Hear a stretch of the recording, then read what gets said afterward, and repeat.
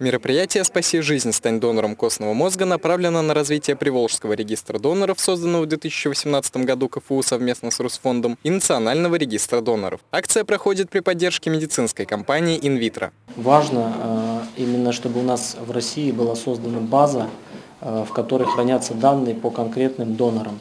Именно поэтому сейчас создается реестр, и те доноры, которые приходят к нам э, в инвитро и сдают свою кровь, их данные поступают э, в базу, которая будет организована на базе КФУ. И при необходимости, при совпадении данных, э, будет подключаться уже конкретный донор и будет спасена очередная жизнь.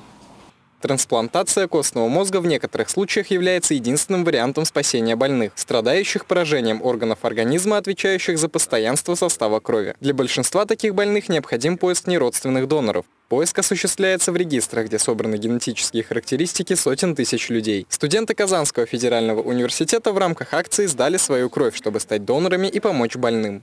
Акция приурочена к Международному дню защиты детей и продлится до 1 июня. Артем Тупичкин, Владимир Нелюбин, Univer News.